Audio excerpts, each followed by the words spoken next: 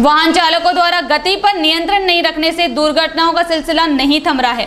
मानपुर में आज फिर बाइक और मारुति इनोवा में भिड़ंत हो गई। जानकारी के अनुसार माँ वैष्णो देवी होटल के सामने मारुति चालक ने बाइक को टक्कर मार दी। इस दौरान टक्कर मार कर सीधे नाले में उतर गई जिससे आठ लोगों को चोटें आई है। जख्मी लोगों को मानपुर के स्वास्थ्य केंद्र पर उपचार जारी है। मानपुर से दीपक जाला की रिपोर्ट। को नाम कहिए भैया? कांचलाल गिरवाल।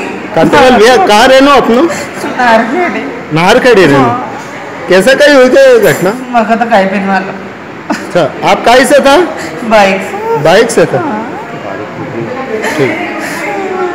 हम? तमिल शाह. जी सर.